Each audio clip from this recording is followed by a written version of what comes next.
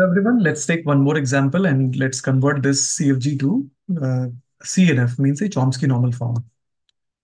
So यहाँ पे आप देख सकते हैं अगर आप derivations करें so derivations में S produces A, B, A and A produces small a, small a and B.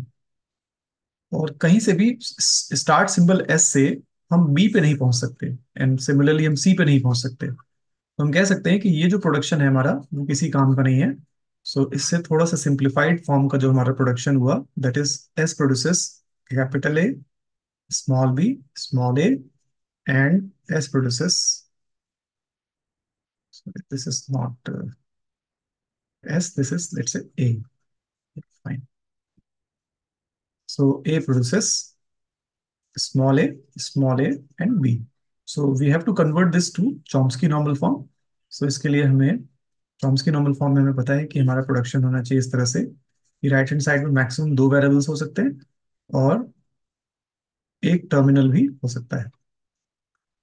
So so, इस फॉर्म में कन्वर्ट करने के लिए हम मान लेते हैं कि there is some C A that produces A and there is some C B that produces B इसी की हेल्प से हम प्रोडक्शंस को या रीराइट करते हैं। So this is S produces C B C CA, and then A produces, let's say, CA, CA, and CB.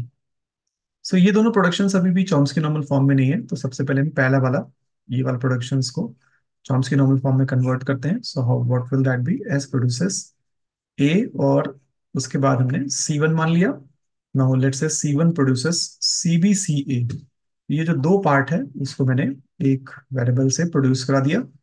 इसके बाद फिर नेक्स्ट प्रोडक्शन पिक करते हैं। ए प्रोड्यूसेस सी ए और मान लेते हैं कि इसके बाद सी टू आ जाता है और C two let say produces C A and C B so ये तो चार हो गए हमारे प्रोडक्शन इसके अलावा दो और प्रोडक्शन जो हमने अपनी तरफ़ से माने थे। So C A produces small A and C B produces small B let's number all these one two three four 5, and 6. And this is the productions for the Chomsky normal form grammar. So we have the grammar in the Chomsky normal form. So I hope आपको ये समझ In the next lecture, we will take more examples and we'll convert that to the Chomsky normal form. Thanks for watching.